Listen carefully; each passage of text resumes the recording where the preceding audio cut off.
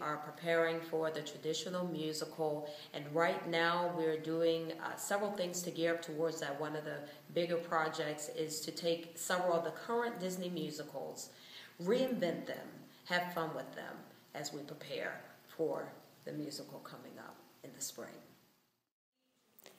And so, as we continue to expand, um, we are taking the concept of a triple threat.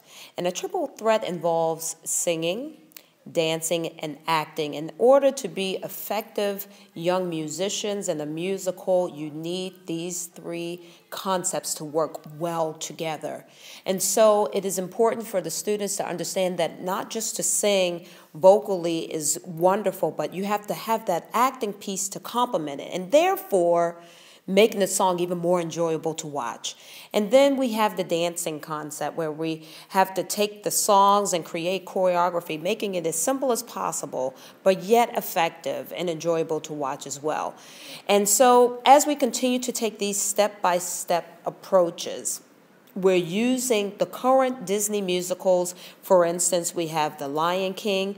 The idea is to watch a particular scene, enjoy that scene, and take that scene and redo it in the same context for the most part, but in a seventh grade mindset, but maintaining all the characterization and making sure that it goes over well.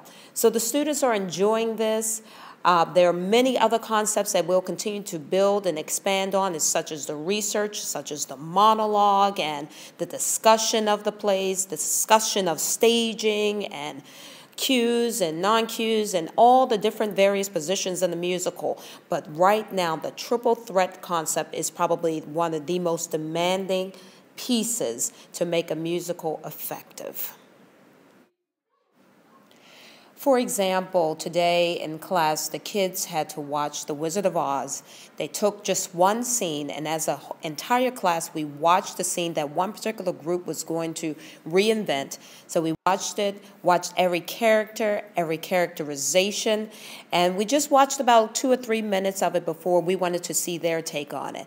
And the children did a fantastic job, taking exactly as close to verbatim as possible the scene and making it their own. And we had some singing, we had some dancing, and they were all in tune, all connected with each other.